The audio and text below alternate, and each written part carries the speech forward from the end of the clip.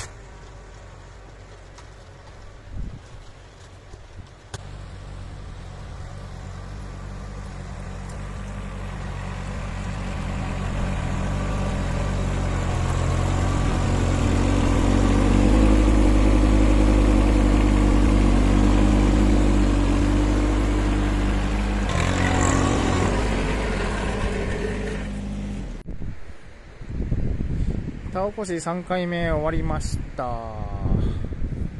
やっぱり3回やると土も細かくなって周りの田んぼとあんま変わんないなこのクオリティ。しかもいつになく綺麗にできてるな、まあ、ここは8だからそうだけど他の3つの角をなんかすごく綺麗だよ。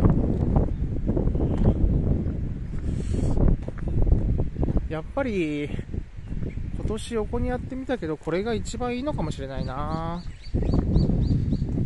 多分田植えもこれがしやすいかもしれん。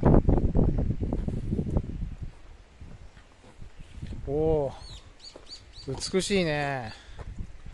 この2本は、まあ、しょうがないけど、他、ほぼないもんね。タイヤの跡が。うん。よしじゃあこの後水入れます。